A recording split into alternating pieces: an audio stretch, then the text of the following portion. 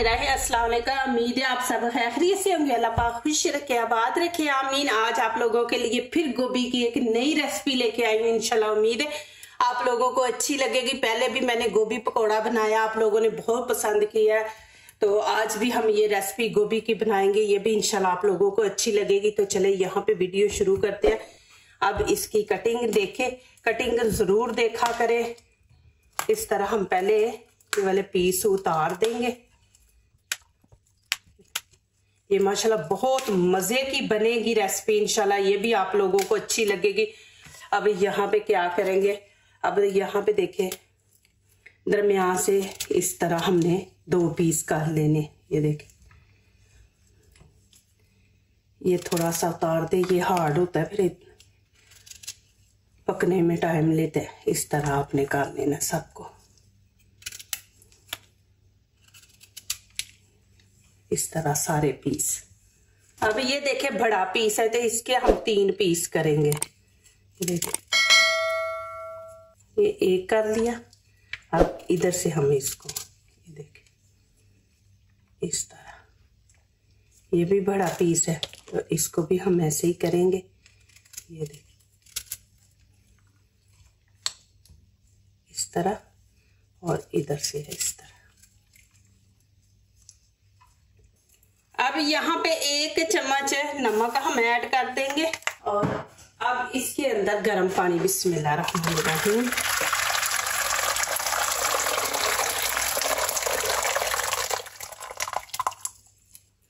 इसको मिक्स कर देंगे। बिस्मिल्लाह रहमान रहीम। अब गोभी इसके अंदर हम दो मिनट, दो से ढाई मिनट इसके अंदर रखेंगे। इसके अंदर जितने भी वो छोटे छोटे कीड़े छुपे होते हैं और जरासीम होते हैं, वो मार जाते क्योंकि ये ऊपर से कवर नहीं ना होती। ज़मीन पे ऐसे ही नंगी पड़ी होती है तो आपने ज़रूर इसको इस तरह वॉश करना है। ये बहुत ज़रूरी है हमारी सेहत के लिए। यहाँ पे मैंने चार अंडे लिए इनको हम इस तरह, ये देखें।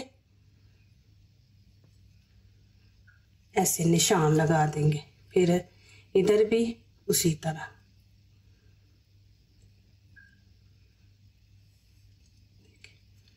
इस तरह आपने लगा देने। ये माशाल्लाह बहुत ज़बरदस्त रेसिपी बनने वाली है इनशाला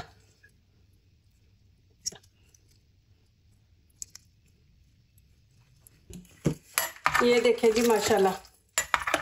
ये कितनी साफ़ हो जाती है, देखें चमक कैसे आ रही है इसकी। जब आप धो लेते हैं ना तो देखें इसकी चमक इतनी ज़बरदस्त सफ़ाई हो जाती है। अब इसको निकाल के हम छननी में रख देंगे कि सारा पानी जो है निकल जाए।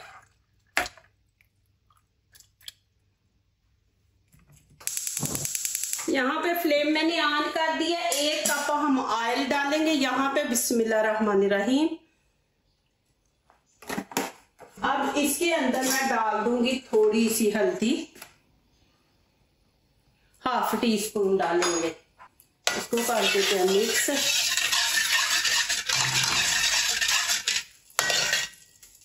अब इसके अंदर डाल देंगे चार अंडे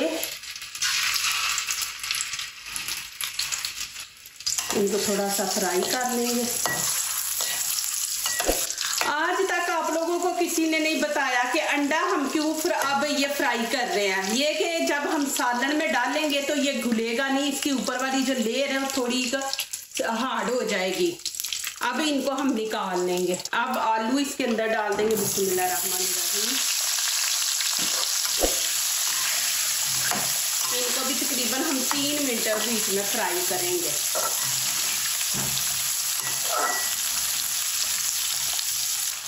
अब इनको भी निकाल लेंगे आलूओं को भी।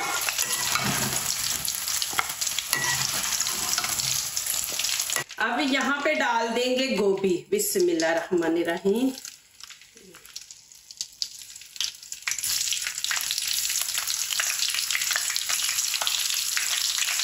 आँच आपने ज़्यादा हाई नहीं रखनी, मीडियम रखेंगे इनको जलाना नहीं है आपने।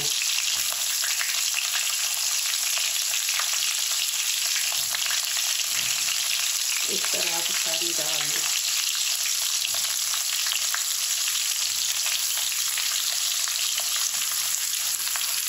इसको एक मिनट रख के आपने अभी मिक्स कर देना है इसको।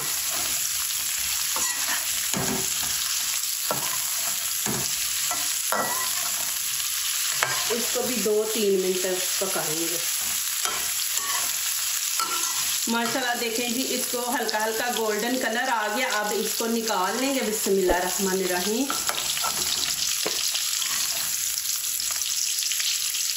अब इसके अंदर डाल देंगे प्याज। मैंने दो छोटे छोटे प्याज लिए थे ब्रिक भी काट लिए।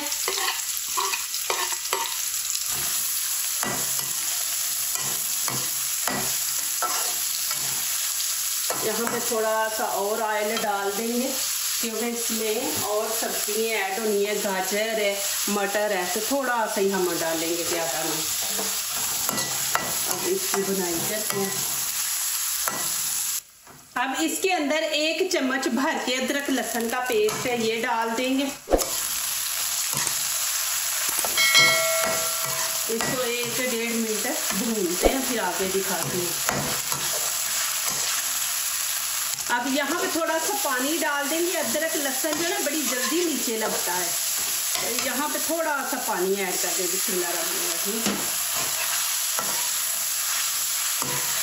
अब यहाँ पे नमक मिर्च ऐड करेंगे। नमक देखे खाने का चम्मच एक मैंने डाला। आप अपने टेस्ट के मुताबिक डाला करें। जितनी आप लोगों को पसंद है, उतनी डाला करें। यहाँ पे एक चम्मच धनिया पाउडर, एक चम्मच गरम मसाला ऐड कर देंगे।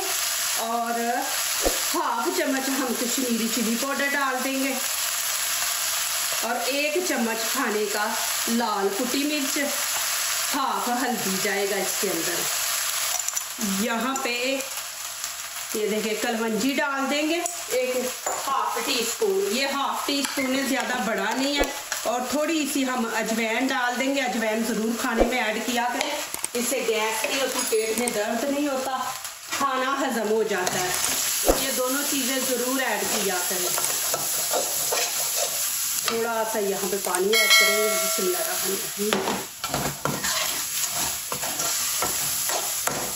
अब इसकी बुनाई करते हैं अच्छी तरह।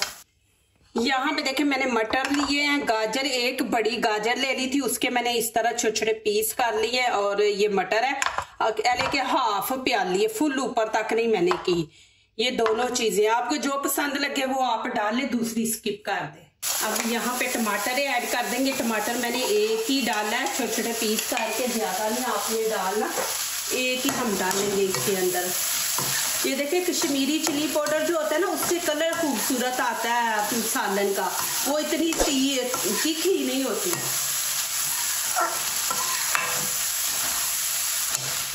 अब साथ ही यहाँ पे मटर ऐड कर देंगे।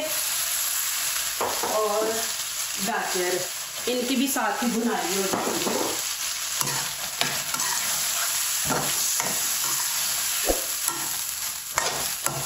दो तीन मिनट इसकी बुनाई करेंगे। यहाँ पे मैंने दो आलू लिए, अच्छी तरह धो लिया इनको। अब इनकी भी कटिंग आप देखें। देखिए, इसकी भी कटिंग आपने इस तरह। ज़्यादा बड़े बड़े नहीं, आपने काटने ये बहुत ज़बरदस्त रेसिपी है। मैंने करेले की, आलू की बनाई है ना रेसिपी वो भी माशाल्लाह बहुत मज़े की है। ज़रूर देखा करें, एक दफ़ा ट्राई ज़रूर किया करें। फिर खुद ही आप लोगों को पता चल जाएगा, माशाल्लाह फिर बार बार आप बनाएँगे माशाल्लाह देखिए जी, यहाँ पे सब्ज़ी ने ऑयल छोड़ दिया है। अब क्या करेंगे, यहाँ पे आलू ऐड कर देंगे बिस्मिल्लाहिर्रहमानिर्रहीम इनको मिक्स करेंगे।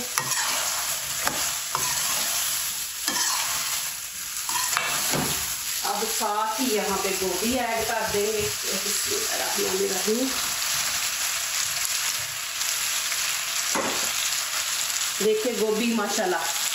आपने इसी तरह इसको रखना, ज़्यादा वो नहीं, चम्मच आपने ऐसे मारना कि सब गोभी टूट जाए। देखिए कैसे माशाल्लाह मैं प्यार से बना रही हूँ।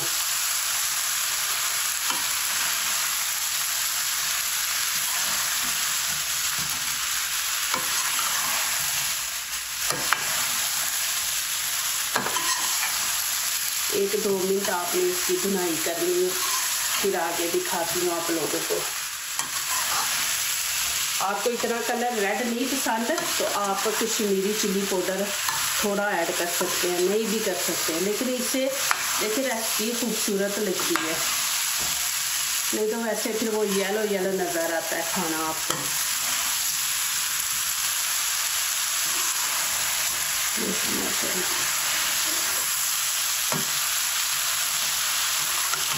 यहाँ पे पानी ऐड करेंगे। पानी आपने ज़्यादा नहीं ऐड करना। देखे एक गिलास है कि एक कप कह ले, छोटा गिलास है, बड़ा नहीं। बिस्मिल्लाह रहमान रहीम। ये हम ऐड कर देंगे। आपने ज़्यादा पानी नहीं डालना कि आपकी सब्ज़ी बीच में डूबी हो। आपकी सब्ज़ी नज़र आनी चाहिए। देखिए, इतना पानी बीच में होना चाहिए। अब यहाँ मैं अंडे रख दूँगी, क्योंकि अंडे तो हमारे पक्के हुए हैं। अब एक उबाला आने तक फिर मैं आप लोगों को दिखाती हूँ कि आप लोगों ने क्या आगे करना है। ऊपर से कवर कर देंगे। यहाँ पे देखिए जी माशाल्लाह अब क्या करेंगे? अंडे जो है ना, ऐसे हम बीच में छुपा देंगे।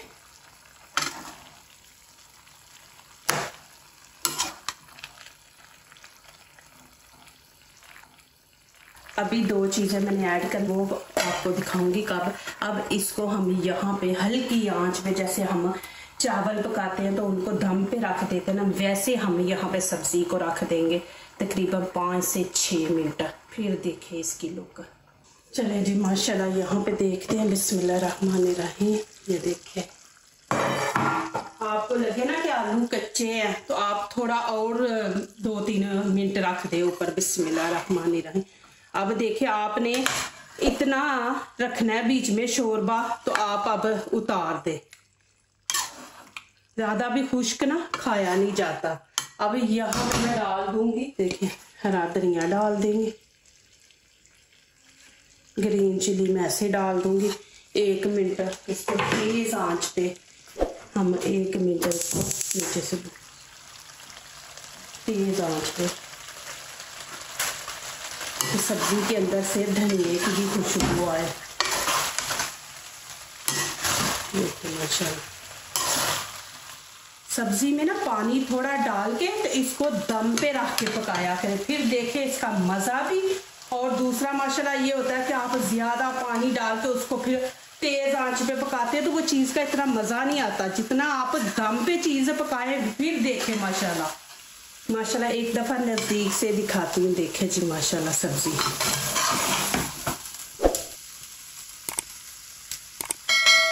कितनी ज़बरदस्त बनी। माशाल्लाह देखे जी, अभी यहाँ पे मैं सब्ज़ी डालती हूँ। देखे जी।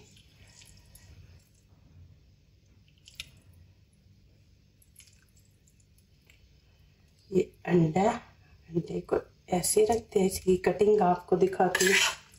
आपके मेहमान भी आए तो देखे माशाल्लाह, एक सब्ज़ी आप अच्छे स्टाइल से और मज़े की बनाएँगे ना आपको ज़रूरत नहीं कि आप बिरयानी बनाए या गोश्त वगैरह। आप सब्ज़ी अच्छे तरीके से आप माशाल्लाह बनाए मज़े की बनाए तो फिर देखें माशाल्लाह। देखिए जी, अब ये आखिरी अंडा हम ऊपर रखेंगे। इतनी मज़े की माशाल्लाह बनी है ना। माशाल्लाह, ये देखिए जी, अभी थोड़ा सा धनिया मैंने बचाया था, वो ऊपर डाल देंगे। देखिए जी, माशाल्लाह। कितनी ज़बरदस्त रेसिपी और कितनी ज़बरदस्त लुक है इसकी। आपको नज़दीक से भी दिखाती हूँ देखे माशाल्लाह जी। अब यहाँ पे मैं आप लोगों को खा के दिखाती हूँ रोटी। अभी नहीं, बच्चों को लेने जा रही हूँ। माशाल्लाह, बहुत ही मज़े का सालन बना स्पाइसी बना। बहुत मज़े का, माशाल्लाह, अल्हम्दुलिल्लाह।